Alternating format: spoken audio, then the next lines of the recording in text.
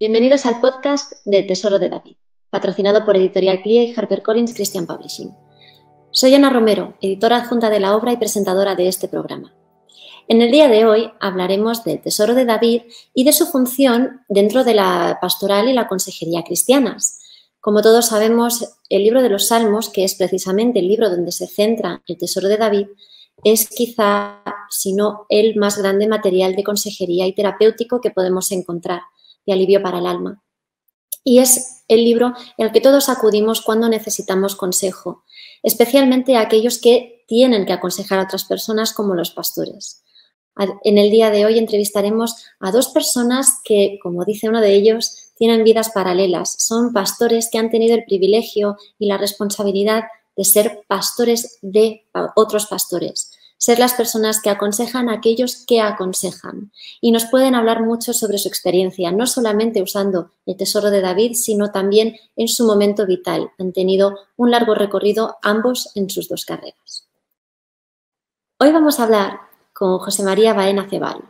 Él es nacido en Sevilla, en España. Se convirtió al Evangelio en Francia en 1969, en el seno de las Asambleas de Dios de ese país. Es graduado en Teología por la Facultad de Teología de las Asambleas de Dios, diplomado en Enseñanza Religiosa Evangélica y titulado en el idioma francés por el Instituto de Idiomas de la Universidad de Sevilla. Y es pastor del Centro Cristiano Internacional Asambleas de Dios en Sevilla y comenzó su actividad pastoral allá por 1973. Profesor de la Facultad de Teología de las Asambleas de Dios en La Carlota, en Córdoba, ha sido profesor de Enseñanza Religiosa Evangélica, es presidente de las Asambleas de Dios de España o lo fue hasta 2004. De la Federación de Entidades Religiosas también fue presidente en FEREDE, en España, de 2004 a 2008 y es miembro de su comisión permanente por varios años. Es autor de varios libros y articulista para las revistas de España y América Latina. Muchos de estos libros están publicados con esta casa editorial, Editorial CLIE, de la cual es miembro del Consejo Directivo. Actualmente, además de escribir libros, también traduce varios del inglés y del francés. Es conferenciante, predicador y es reconocido internacionalmente como tal. También contamos con la colaboración del pastor Aarón Cortés Herrera. El pastor Aarón Cortés Herrera nació en México en el mismo año que nació José María Baena en España. Es licenciado en Derecho por la Facultad de Derecho de la Universidad Nacional Autónoma de México. Es pastor en la Iglesia Cristiana Interdenominacional, asociación religiosa, para cortarlo,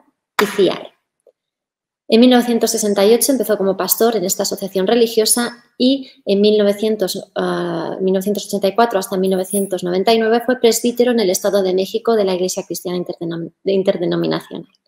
Es pastor general de la Iglesia Cristiana desde 1999 hasta la actualidad y colaborador como articulista de la revista Nueva Raza, es autor de varios artículos y de seminarios en la escuela dominical. Como autor, es autor del libro Antecedentes y creación del Estado de Israel y conflicto del Medio Oriente. Maestro en teología, en consejería pastoral, hermenéutica y homilética en el Instituto Nacional Teológico San Pablo. Lo ha sido durante más de 40 años. Pues bienvenidos a los dos. Gusto estar aquí con vosotros. Un honor. ¿Cómo están? Pues hasta eso que bien. Gracias a Dios, bien también. Sevilla todavía es tiempo prima, bueno, otoñal, pero calorcito todavía, suave, pero estamos muy bien, gracias a Dios. Qué bueno, bueno, muchas gracias a ambos por estar presentes en este programa, gracias por esta colaboración. Y, bueno, como decía ayer don José María Baena, eh, es un gusto presenciar cómo se conocen dos personas que tienen vidas paralelas y que tienen un acercamiento tan parecido en sus vidas, en su trayectoria profesional, laboral, vital, eh, en el, no solamente en la palabra de Dios y en su cometido como pastores, sino también en su vida personal. Así es que muchísimas gracias a ambos. Bueno, yo voy a empezar este podcast con una pregunta que les hago a todas las personas por igual. Y vamos a empezar con una pregunta que para mí es la clave de empezar el programa. Y es cómo conocieron ustedes el Tesoro de David, cómo conocieron la obra eh, El Tesoro de David. Don José María. Bueno, muy fácil. al ser miembro del, comité de dirección de Editorial CLIE, pues lo conocí primero, primero cuando estaba en, en elaboración, don, Eliseo, ¿verdad? que es el padre de la criatura, eh, digamos, en la edición en español, pues ya hablaba y echaba sus horas. Recuerdo haber estado en Roquetas de Mar con ellos una semana y, el tesoro de David era su atmósfera, su aire que respiraba. Y más tarde, pues se nos presentó el prototipo y después hemos visto el primer tomo y ahora eh, me congratulo que el segundo tomo acaba de salir también o está a punto de ser distribuido. De modo que eh, mi conocimiento ha sido a través de, de la editorial CLIE y de don Eliseo, que es su alma, vamos. Aquí la criatura siendo yo. Don Aaron, ¿cómo llegó a usted? Bueno, yo primeramente, por mi padre, conocí mucho acerca de la vida de Spurgeon. Eh, tengo aquí este ejemplar que decía yo hace un momento. Estas son el libro de cheques de la fe, del Banco de la Fe. Pero mi padre eh, me hablaba tanto de Spurgeon, mi padre pastor también, me hablaba tanto de Spurgeon, que cuando por primera vez en Clásicos Evangélicos CLIE publica el primer tomo de, El Tesoro de David, pues fue para mí grato, muy, muy, muy grato el poder tener en, en mis manos ya en una forma muy hermosamente compilado todo este trabajo que ahora pues ha devenido en precisamente en el primer volumen del Tesoro de David y esperamos pronto eh, tener ya el, segundo tomo, que algo hemos visto del trabajo de don Eliseo, y me parece el Tesoro de David algo eh, hermosísimo, pero sobre todo útil útil por la cantidad de elementos que nos proporciona. Y para mí, pues, es, es eh, más que nada recibir esta, esta bendición, algo muy grande que CLIE ha tenido a bien y don Eliseo, y nos, nos congratulamos de todo esto, que ahora esté ya eh, pronto a llegar a México el segundo tomo. Así conocí yo primero a Spurgeon y todo lo que CLIE publicó, porque CLIE publicó muchas cosas de, de Spurgeon y por eso es que tengo esa liga, ese, ese sentimiento al que me uno yo en el trabajo de Spurgeon, que está mucho en el, en el Tesoro de David. Y bueno, dice que usted que lo usa. ¿Qué, tipo de uso le da al tesoro cuando, cuando tiene que predicar o lo usa eh, Perdón, Ana, es que me emociona tanto que, perdón eh, por interrumpir, lo uso en la predicación. Yo predico todos los domingos y los miércoles.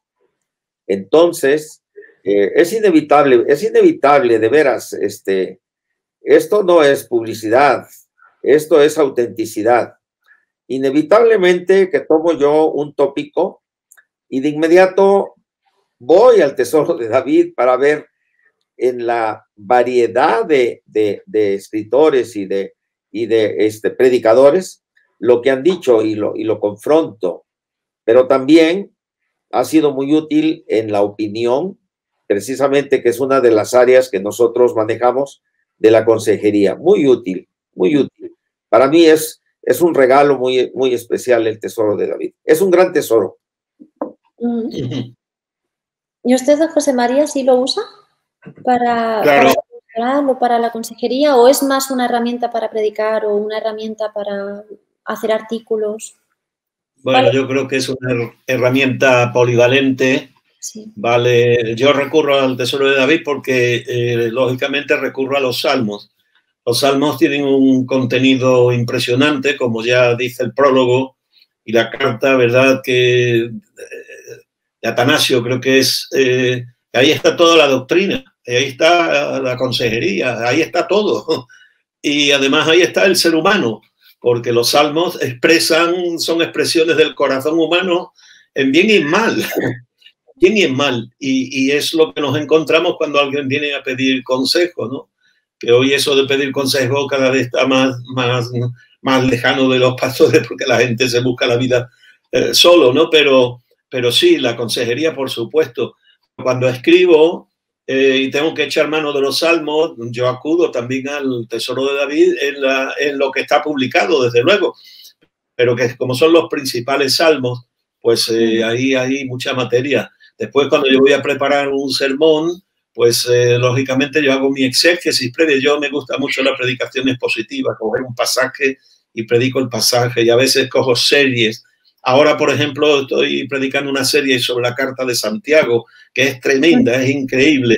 Y, en algunos de los mensajes he tenido que recurrir al, tesoro de, o sea, a los salmos y por ende al tesoro de David para ver lo que en ese salmo otros han aportado. Y tengo que decir que eh, a mí me ayudan mucho y como soy en ese aspecto, eh, pues busco, investigo, leo muchísimo. Me gustan las notas eh, a pie de página que aportan mucho. Ese es el valor añadido que la edición española hace al trabajo inigualable de Spurgeon. Pero tenemos ese privilegio, la edición española supera a la original al aportar primero en tiempos más modernos, cuando hay más, eh, más datos, más estudios, más arqueología, más estudios textuales, etc. Y, entonces las notas son de valor incalculable. Para mí, para mí es un material extraordinario, de verdad. Y que lógicamente yo lo recomiendo a todo el mundo, a, pastores y, gente que le gusta el estudio de la palabra de Dios, ¿no? Entonces, mm, yo creo que es eh, es una obra eh, magna. ¿eh? Y alabo la de, tu padre, de don Eliseo, de esa dedicación de prácticamente toda su vida, heredada desde luego de, de, don Samuel Vila, su padre, ¿no?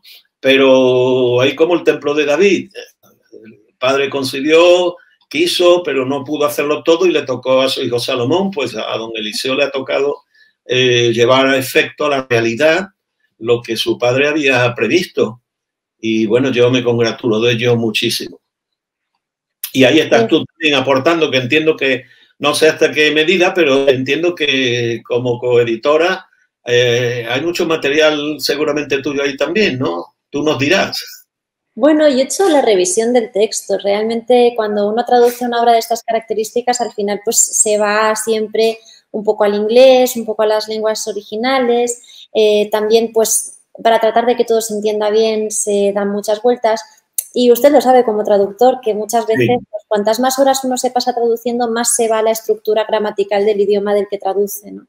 Entonces, sí, estoy ahí un poco para intentar corregir eso, eh, leo todo lo que, lo que se va a publicar, lo leo antes y, y, además, pues si algunas notas son de elaboración mía, la mayoría son de mi padre, pero, pero muchas son de elaboración mía y estoy tratando pues, que haya cohesión y que la obra sea, sea extensa. Yo cuando traduzco, acabo, dejo pasar unos días y ahora empiezo a releer y me voy dando cuenta, ¿verdad? Y tengo que reajustar al español de verdad. Exacto. Porque uno se ajusta demasiado a veces de manera natural al texto original y ya después cuando lo lees independientemente de ese texto, te das cuenta, digo, bueno, esto no es tan español como, sí, las palabras son españolas, pero la expresión no lo es, hay que readaptarlo. Y es verdad, así que también es una buena labor la tuya. Muchas gracias. Es que además, como hablando con dos pastores, ustedes lo saben, los pastores hablan para que la gente los entienda y no hablan para que otra persona esté ahí con un diccionario revisando qué es lo que ha dicho. Entonces, el hecho de que las predicaciones se entiendan y el Tesoro de David está lleno de predicaciones, está lleno de, comentarios, pero realmente muchos son transcritos de cosas que se dijeron desde un púlpito. Entonces, si eso no se entiende, si en español la gente que lee en español, el hispanoparlante, lo lee y no entiende lo que está leyendo o no le suena natural, eh, se pierde el poder de la predicación, ¿no? lo que llamamos el fuego de la palabra. Entonces, es una, es una labor eh, engañosa, porque a veces uno tiene, tiene que tener mucho cuidado en cómo, en cómo lo estructura. Pero bueno, ustedes llevan muchos años predicando y supongo que también deben tener su metodología a la hora de prepararse una predicación.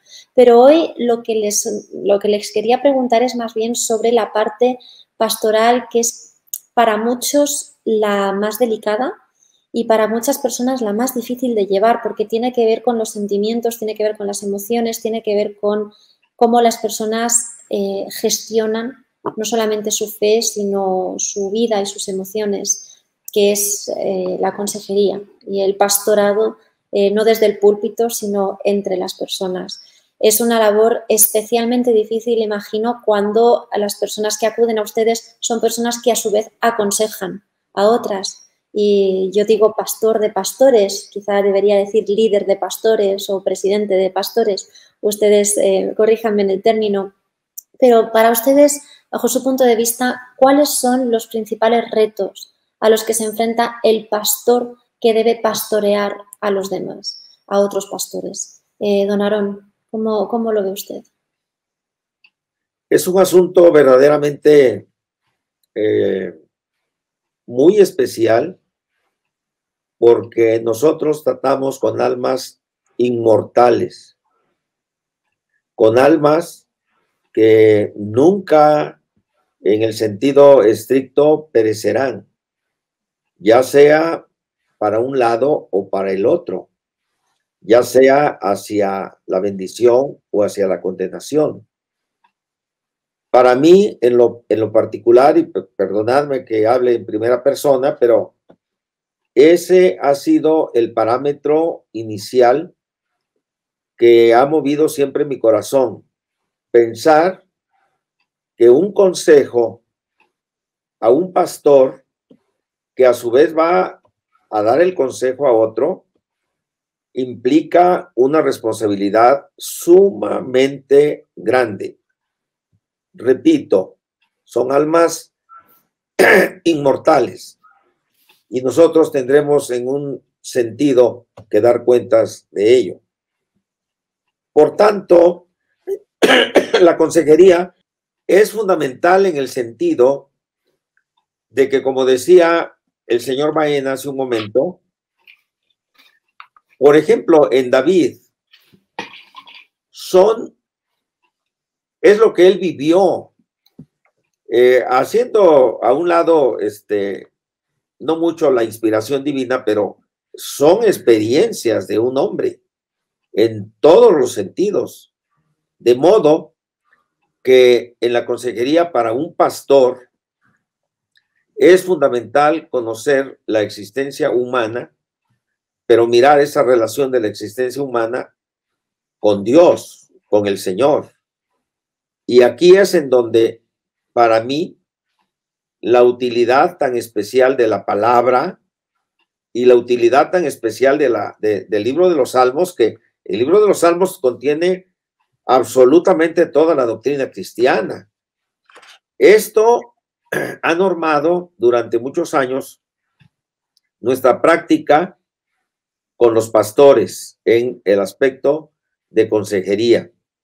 Y ha sido, eh, pues, de bendición que podamos nosotros aportar eh, nuestros panes y nuestros peces y que el Señor nos multiplique, eh, sobre todo en, en, los pastores que están al frente. En México nosotros, solamente de ICIAR, tenemos 2.700 congregaciones. Eh, en su mayoría pequeñas para nuestro, para nuestro este, eh, ámbito, congregaciones de 150, de 200 personas. Solamente tenemos 10 congregaciones este, de más de mil personas, ¿no? Pero es satisfactorio y yo pienso que para el señor Baena también lo debe ser. Asambleas de Dios es, es algo maravilloso. Eh, con Asambleas de Dios hemos vivido con sus pastores, con sus líderes, momentos inolvidables aquí en México y en los Estados Unidos. Y es satisfactorio que los pastores hoy día, eh, ayer precisamente estaba yo en una reunión de pastores, y los que los pastores recuerden, aquí en México tuvimos a don Alfonso de los Reyes, que fue superintendente de asambleas de Dios en varias ocasiones, y ayer lo recordábamos. Y precisamente lo que recordaban los pastores con los que estaba yo eran las enseñanzas de don, Alfonso de los Reyes, paisano mío de allá de, de Tamaulipas. La bendición de la palabra de Dios, como dice San Marcos, es una semilla que lleva vida en sí misma.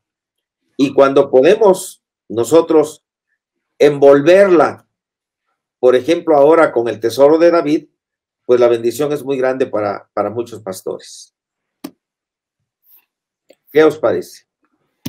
gran testimonio. Gracias. Muy bien. ¿Qué materiales ha usado usted para enfrentar este reto? Ah, en, lo personal. Perdón, otra vez tengo que referirme a Spurgeon, pero es que mi padre fue un spurgeoniano. Y entonces discursos a mis estudiantes, eh, pláticas a mis estudiantes, fueron primeramente eh, la génesis en el pensamiento de consejería pastoral. Eh, asimilé profundamente esas enseñanzas. Posteriormente, bueno, pues ahora la contemporaneidad y la, y la bendición que, representa el tener autores de toda índole, pues han, llevado nuestro, nuestro devenir en, muchos sentidos. En México se dice que mi generación es una generación bisagra, porque nuestros abuelos, yo vengo también de abuelos este, cristianos, nuestros abuelos, en este caso nuestros pastores abuelos, fueron de una manera muy exacta y diría yo que un literalismo muy bíblico, pero que se tradujo en conductas demasiado rígidas y hoy día la juventud eh, pastoral ha influido mucho para que nosotros también veamos las cosas en un, en un cambio y siguiendo consejos, consejos paulinos, ¿no? Cuando veas a un hermano que tiene una dificultad, bueno, no lo vayas a enjuiciar de inmediato, sino que trátalo con toda benevolencia. Eso, eso aconseja San Pablo. Para mí, fundamentalmente, fue pláticas a mis estudiantes y discursos a mis estudiantes, lo que motivó a que entrara yo al estudio de muchos, muchos otros autores. Aquí una disculpa porque cuando yo veo una película, no me interesan los nombres de los autores, ni me interesa el título de la película, pero sí recuerdo lo que la película, este, el, contenido de la película.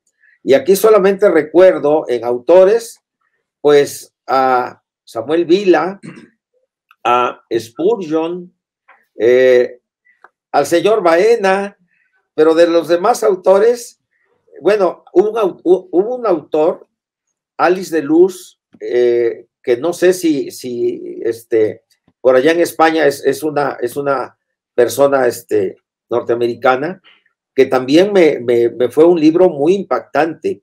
Hay un libro que se llama Pastor de, no, a la manera de un pastor, en donde el símil es un pastor de ovejas, pero va tratando eh, en, sus, en sus páginas, va siguiendo una metodología como si fuera un pastor auténtico de, ovejas, ¿no? Pero con una aplicación muy especial. Son los libros que de alguna manera impactaron, impactaron mi, formación.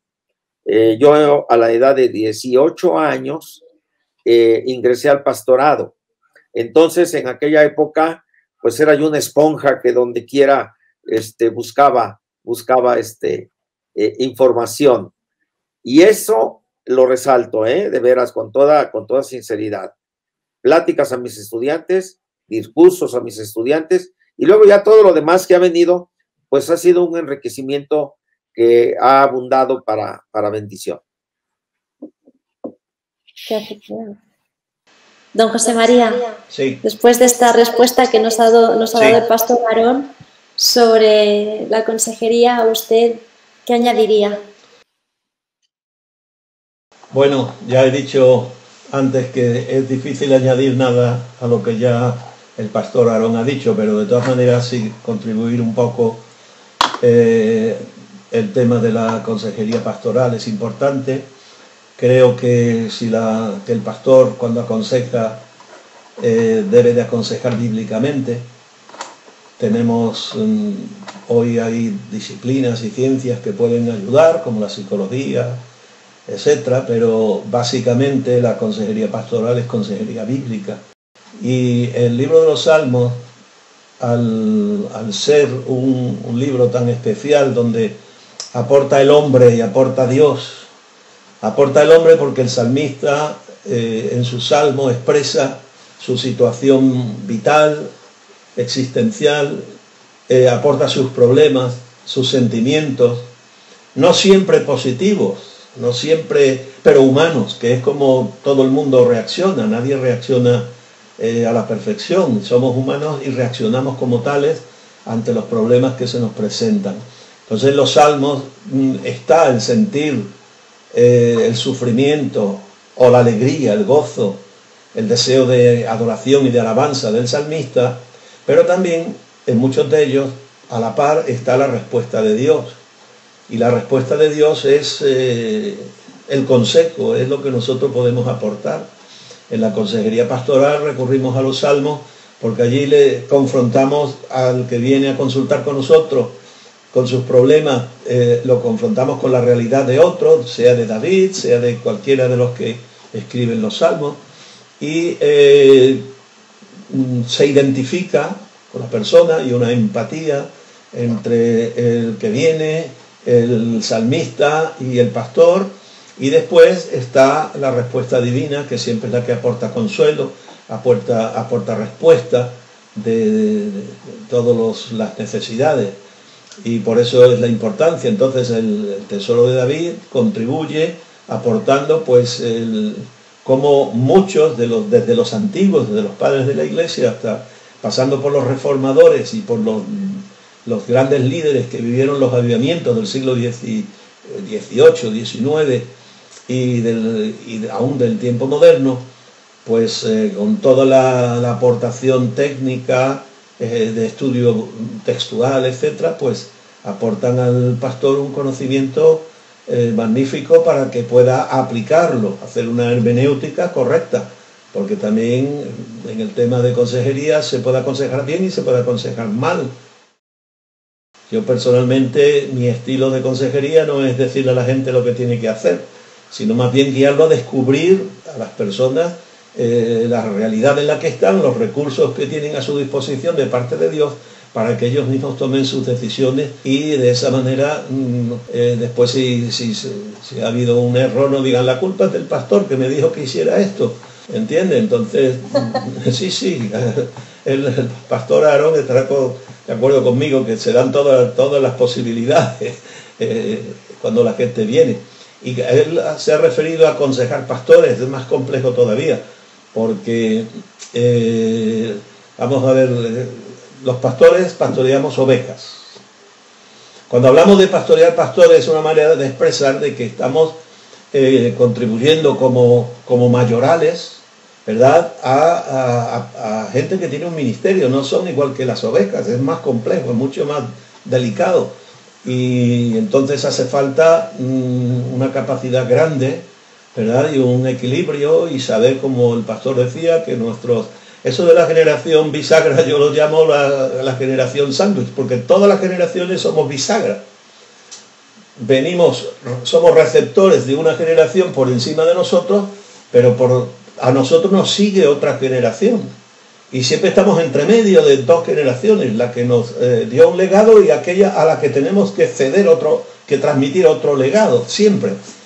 Y entonces, eh, efectivamente, nuestros antiguos, pues eran personas de su época, de su tiempo, y tenían, eh, pues eran hombres de Dios, pero también tenían sus excesos, como pasa con nosotros, somos de nuestra generación, con nuestras virtudes y también con nuestros defectos. Y los que nos siguen, pues tendrán que, eh, ellos van a recibir de nosotros un legado donde hay una parte plenamente de Dios, bíblica, y después está la otra parte que ellos dirán, bueno, pues ahora son otros tiempos, pero nunca poniendo en tela de juicio la palabra de Dios que es inalterable y es la que tenemos que transmitir de generación a generación sin que, sin que cambie.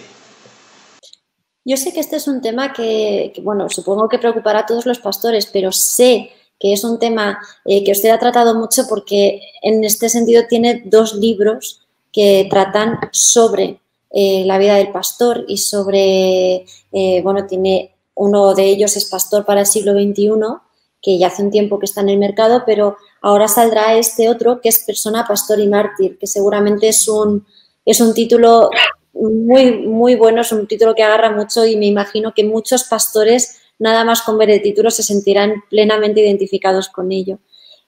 Siendo que ya tenía un libro que hablaba sobre la figura del pastor, sobre la vida del pastor y sobre los retos que tiene el pastor en el siglo XXI.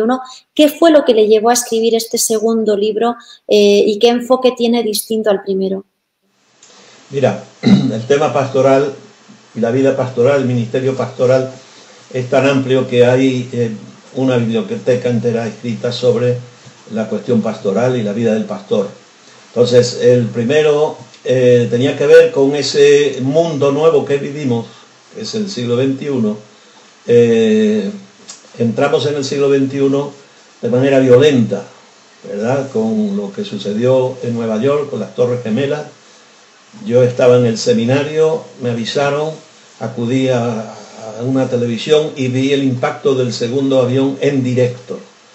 A partir de ahí, el, siglo en el que entrábamos era un siglo distinto, diferente, ¿verdad? Muchas cosas cambiaron, lo sabemos. En este año 20 de este siglo, estamos viviendo un hecho inaudito, ¿verdad? Que sí, se, parece que se vivió a principios también del siglo XX, con la, aquella fiebre que llamaron española, equivocadamente, pero eh, vivimos otra situación, otro impacto mundial que ha paralizado el mundo.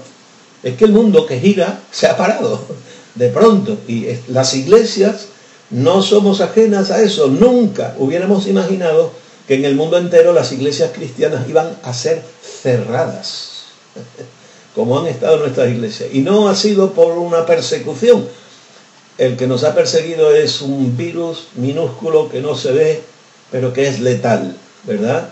Entonces, el siglo XXI tiene los planteamientos propios que no tienen nada que ver, la tecnología, ya estamos viendo lo que hay, a todo avanza a un control absoluto de la persona, ¿verdad? Con, las redes sociales, estás situado, te tienen localizado, dentro de nada no vas a poder comprar ni vender como no sea a través de, de las vías que te van a marcar. Entonces, vivimos tiempos complejos, ¿vale?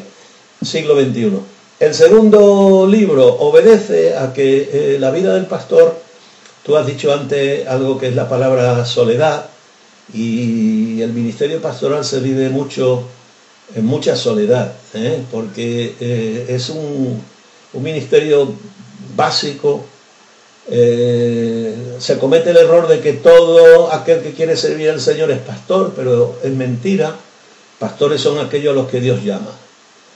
Hay otros ministerios que se pueden ejercer, pero pastor, yo he conocido pastores que eran tremendos evangelistas, ganaban almas, las mismas que perdían después porque no eran buenos pastores, no eran malos ministros, simplemente estaban, eh, habían hecho bien lo que Dios los había llamado a hacer y no hacían tan bien aquello a lo que Dios nos los había llamado a hacer. Entonces la vida del pastor es, es sufrida, es así, y entonces, mm, por eso mi segundo libro... Mm, eh, primero, que todo el mundo sepa, los pastores somos personas normales y corrientes. Tenemos los mismos problemas que los demás.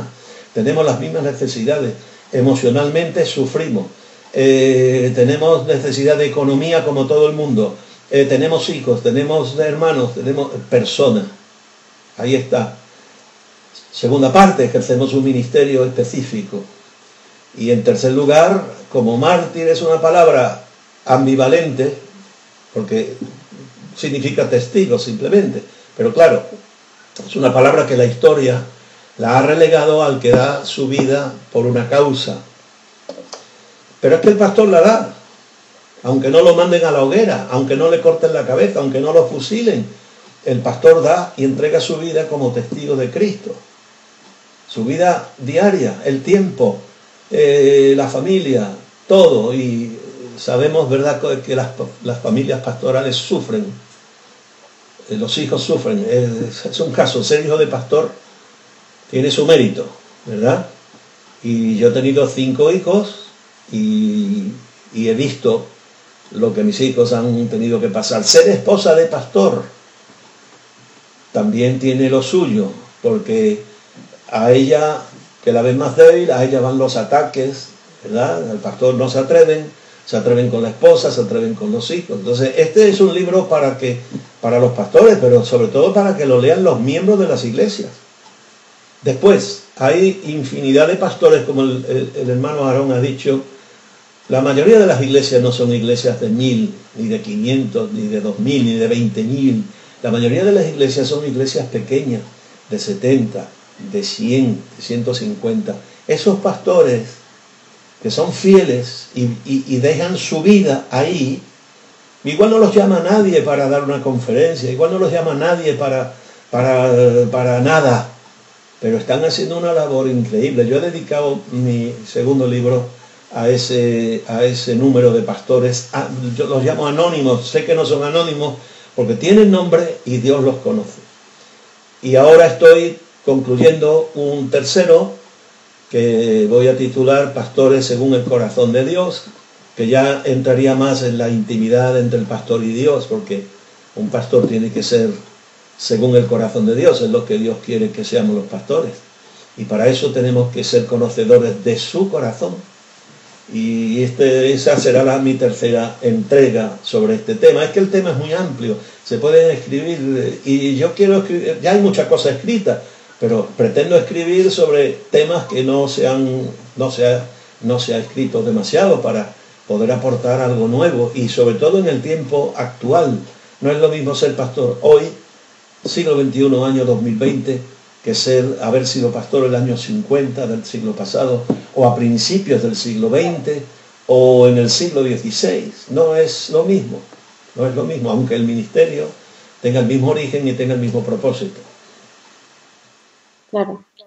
Bueno, yo barriendo para casa, eso lo veo muy claro eh, haciendo el tesoro, porque es que vemos testimonios de gente de todas las épocas y cómo el mismo texto lo interpretan de forma completamente distinta dependiendo del contexto que tengan ellos y de si están en guerra, si ha habido una pandemia, si se ha muerto mucha gente, si son la religión imperante y están persiguiendo a otras personas. Sí, es, es muy, muy curioso ver cómo mm, por mucho llamado que tengan los pastores, pues están influenciados por el lugar donde vive, por quiénes son, por las vivencias que han tenido. Evidentemente y cómo eso afecta a su predicación, a su interpretación, a la forma de tratar a los demás. Eh, me imagino que ustedes, pues claro, lo ven también en el día a día porque eh, no han vivido mm, todos los siglos que recoge el tesoro, desde luego, pero sí que han tratado con mucha gente que tiene realidades muy distintas. Eh, en el caso de ICIAR, concretamente, sé que hay algunas iglesias en lugares muy remotos y muy rurales y en esa realidad también tiene que ser difícil ejercer el pastorado. En una denominación como esta tan extensa, imagino que debe ser trabajoso no solo pues, la logística, la práctica para mantener el engranaje de, cómo funciona una organización pues, con más de 2.000 iglesias en México, ¿cierto? Tienen más de 2.000 iglesias. Eh, ¿Cuáles son eh, los materiales, las herramientas que han encontrado más útiles a lo largo de su posición como líder o como pastor de pastores? A aquellos libros o aquellos materiales en los que ha encontrado respuestas, propuestas prácticas para desarrollar la labor de orientar a personas que tienen realidades tan diferentes eh, a la suya propia y a la del resto de sus compañeros que quizá no comprenden su punto de vista. Eh, supongo que la pregunta es para mí, ¿verdad? Sí. Bien. Eh, efectivamente, bueno, yo me quedé con un pensamiento de don José, porque hay cosas muy, muy ricas en lo, que, en lo que ha dicho, pero el asunto es efectivamente la, la, cuestión existencial que vemos nosotros en la Biblia, en los, en los hombres, no solo David, sin un Jeremías, por ejemplo, un, un, Ezequiel, ¿no? Eh, es, es fundamental. Y hoy día, en lo que tiene que ver con nuestra organización para los efectos de la consejería, tiene implicaciones eh, muy diversas.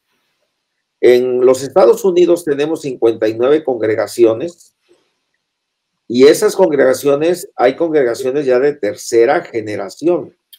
Es decir, eh, la cultura de los chicos, mis, mis nietos, por ejemplo, este, pues sí, son mis nietos y, y, este, y ellos me, me dicen abuelo y, y, me lo dicen en español, ¿no? Pero el fondo de ellos, ellos ya no son ni siquiera americanos, ellos son americanos. De igual manera, la, los, los eh, miembros de las iglesias en los Estados Unidos tienen una cultura completamente diferente a nosotros. Esto lo, lo pongo en un ejemplo, pero me voy ahora a Comodoro Rivadavia, que es lo último de la tierra. Y la cultura de los argentinos de Comodoro Rivadavia ni siquiera eh, es semejante a la cultura y a las prácticas comunes de Buenos Aires o de Rosario, que está más arriba, ¿no? Es algo verdaderamente sensacional que haya personas que escriban. Hay mucha metodología, de veras, ¿eh? hay, una metodología que los, consejeros en la materia han diseñado. Y aquí nosotros lo que estamos haciendo es a través de seminarios, formando no tanto eh, principios metodológicos, sino más bien un seguimiento bíblico para que se aplique in situ al sujeto que, requiere la consejería, tanto pastor como, como, miembro de la, como miembro de la congregación. Esto es una tarea fantástica y oía yo a, a don José hablar de estas cosas, eh, de veras es, es, es, es algo muy grande, muy grande. Y aquí venimos, nosotros tenemos una frase con nuestros pastores, por ejemplo, de Centroamérica.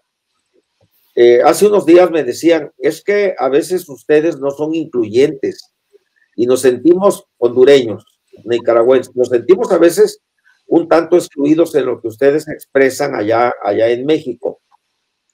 Lo que hemos buscado, lo que estamos buscando, y para esto, bueno, los libros son una, herramienta maravillosa, pero lo que buscamos nosotros es que ellos, los pastores, tropicalicen, esa es la frase que nosotros este, le, así le denominamos, es tropicalizar una enseñanza que va para un ámbito, por ejemplo, España, que va para un ámbito, por ejemplo, este, Estados Unidos, que es lo que más tenemos nosotros.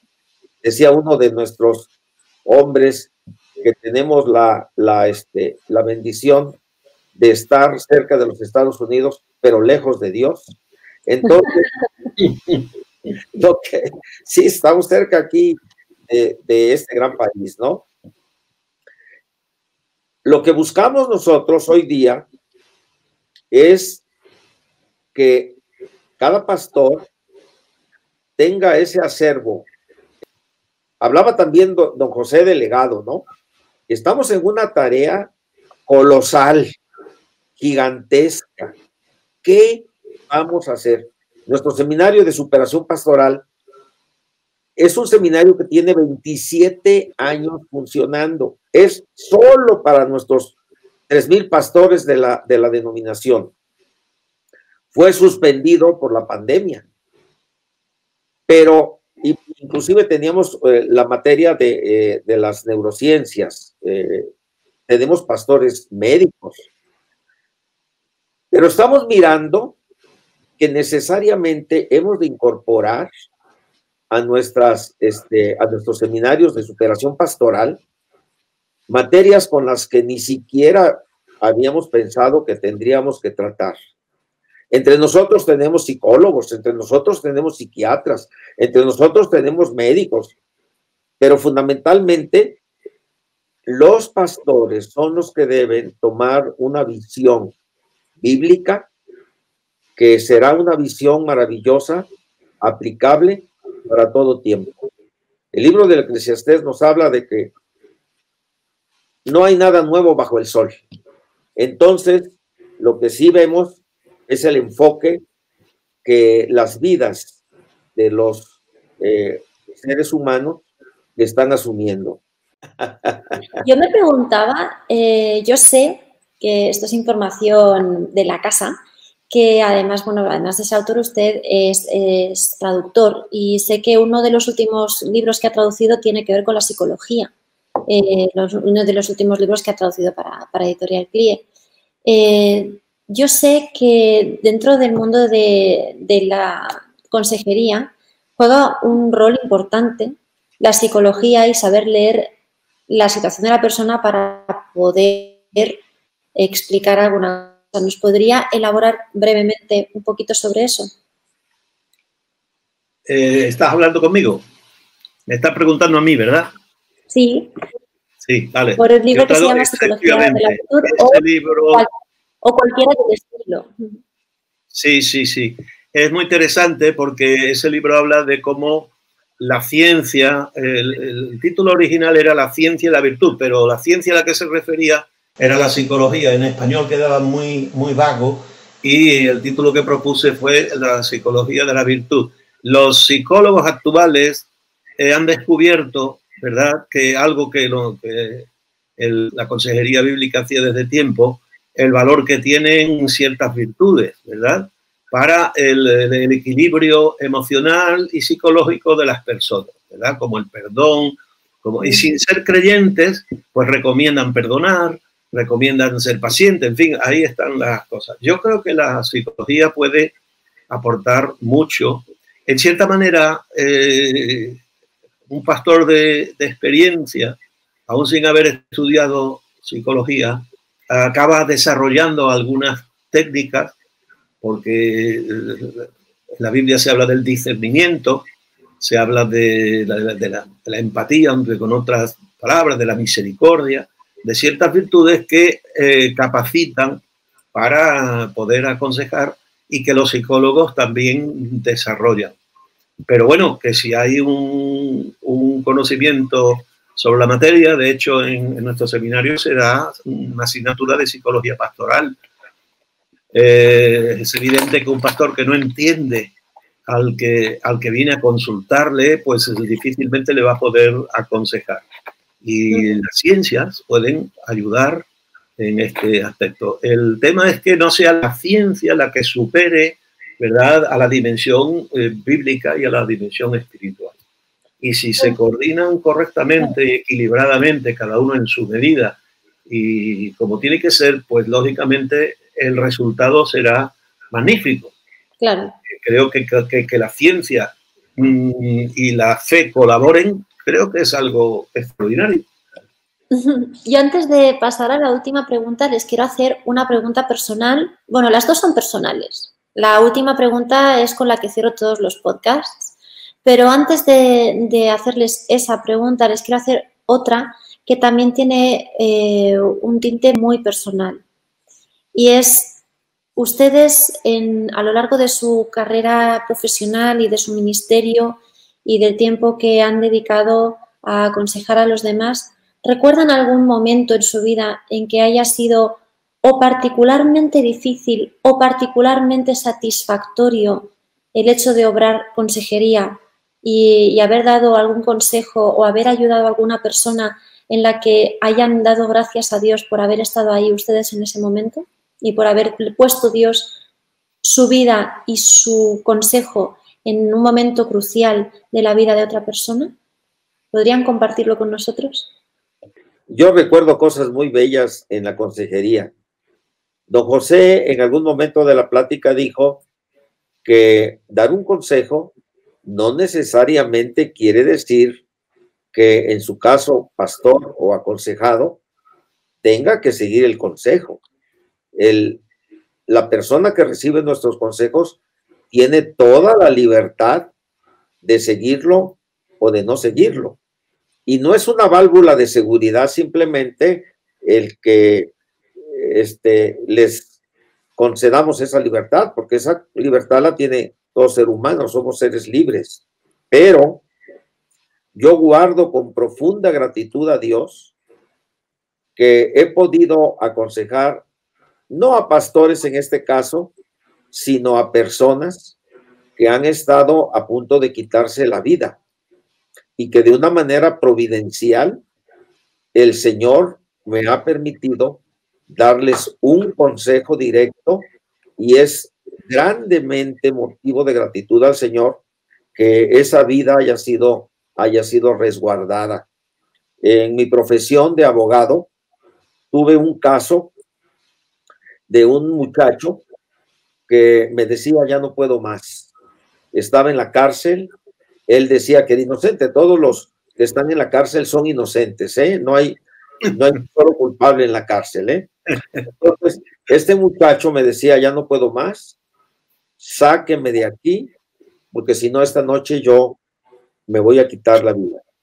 Entonces, el consejo que, yo le di, basado precisamente en, en la Biblia, eh, no recuerdo bien las, las, las, este, todas las, las circunstancias, pero le di el consejo de David cuando está en la cueva de Adulam y que tiene esa frase que muchas veces para mí era incomprensible, porque dice, aunque mi padre y mi madre me dejaran, con todo el Señor me, me recogerá. Y entonces yo le di esa palabra, repito, no recuerdo todas las inflexiones del, asunto, pero le di esa palabra y ese muchacho no solo no se privó de la vida, sino que a los pocos días quedó libre y también quedó libre de una manera completamente milagrosa, porque como abogado uno tiene que seguir procesos y sin embargo, por un error judicial, estaba en la cárcel y aunque una autoridad no puede revocar sus propias determinaciones, algo pasó, es la intervención del Señor, y revisaron su, su caso de oficio, como decimos aquí, y él salió libre, pero además de libre, conservó la vida. Yo, yo guardo con profunda gratitud ese asunto en mi corazón. Y por supuesto que como don José, eh, debe haber muchos, muchos casos en que hemos sido instrumentos solamente de bendición para la gloria, para la gloria de Él. Mi parte, tengo que reconocer que en mis principios, como era muy joven, con 23 años yo ya era pastor, pues cometí algunos errores. Y eso, bueno, ahí están, he aprendido y aunque me acuerdo de ellos, no los repetiré.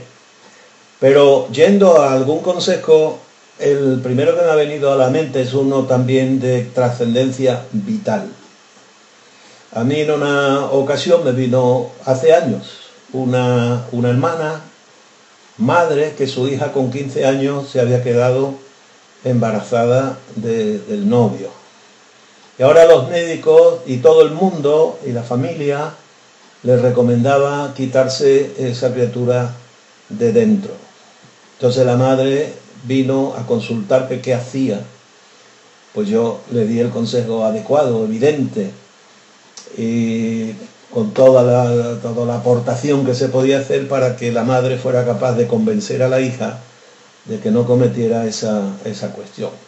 La hija siguió el consejo de la madre y eh, nació el niño, el niño creció, era una preciosidad y después, pues eh, lógicamente, y hoy ya es una persona mayor, vamos, un joven. Y como ha dicho el pastor Aarón, una vida, pues aquí igual, de otra manera, pero una vida y uno se alegra cuando salva una vida. Muchas gracias a ambos por compartir un testimonio tan poderoso, tan poderoso, de cómo Dios actúa a través de las personas que elige, que sienten el llamado a, brindarle su vida, a brindarle pues, su familia, como bien decía don José María, Seguro que Don Aaron ahí tiene mucho que, decir también, la persona que, dedica su vida a Dios, dedica su vida, su hacienda, su familia, su tiempo y todo lo que implica la palabra vida. Así que gracias a los dos por sacar un poco de tiempo de sus agendas para colaborar en el, en el podcast y para estar hoy con nosotros. Para terminar, me gustaría hacerles la pregunta que hago a todo el mundo que pasa por aquí. Es quizás la pregunta más personal de todas y, y en muchos casos la más difícil. Y es, si tuviese que escoger hoy un salmo, ¿cuál es hoy su salmo favorito? Don José María. Vale, es difícil. Yo te voy a, contar, a contestar con, no, igual no te satisface la pregunta, porque te voy a contestar con un ejemplo. Me gusta la comida mexicana, ¿vale? Y cuando yo voy a un restaurante mexicano, me suelo pedir un plato de eso que pone tres taquitos diferentes de diferentes cosas, dos flautitas, el guacamole, eh, los nachos eh, con queso, etcétera, etcétera. Y yo una sola cosa, con fajitas, en fin, una sola cosa me cuesta mucho trabajo porque me gustan tantas que prefiero uno de estos así variado y eh, un combo que le llaman. Admitimos un combo de salmos. Vale. pues entonces ahí yo pondría el Salmo 23, el Salmo 19, el Salmo 90, el Salmo 51, el 19 no, el 119 no porque ese es para un plato. Pero eh, pues ya, ya, tienes ahí unos cuantos de un, un combo de, de salmos, ¿eh? Si te parece. Bueno, pero como ha dicho primero el 23, me voy a apuntar el 23. Bueno, ese que es el, para mí, el, la perla de todos, las perlas. Entonces me quedo con el 23. Don Aarón. Igual. Eh, sin embargo, tengo que decir que el primer salmo que escuché fue el Salmo 133 y lo escuché en hebreo. Mm y, quedó un, eh, a la edad de cinco años. Y sí, este, eh, fue un impacto tremendo, pero tengo que coincidir con don José María, porque el Salmo 23, eh, bueno, tú has estado en nuestras reuniones y nosotros terminamos nuestras reuniones rezando el, el Salmo 23. Eh, es un salmo que está en toda la trama y hundir, hundir, urdimber de mi ser y, está eh, en todo momento, ¿no? Y este, esa conclusión este, davídica, en la casa del Señor moraré por largos días. Creo que pronto moraremos con el Señor por largos días. Estamos más cerca. en principio más cerca. Ya nos falta menos. Eso. Ana, gracias. Qué, qué bonito y qué adecuado que el salmo favorito de los pastores sea el salmo del pastor. Así es. A nuestros oyentes, a nuestros escuchantes, a nuestro público, gracias también por su tiempo, por haber atendido en este podcast con José María Baena y con Aaron Cortés, dos grandes pastores que no solamente por su edad, sino por su experiencia tienen mucho que compartir con nosotros. En el próximo capítulo hablaremos de la predicación, no solamente del tesoro de David como herramienta para la predicación, sino de la predicación y su relación con la espiritualidad de la persona responsable de predicar. Para ello contaremos con la presencia de Ruth Jordan. Muchas gracias. Hasta el próximo capítulo.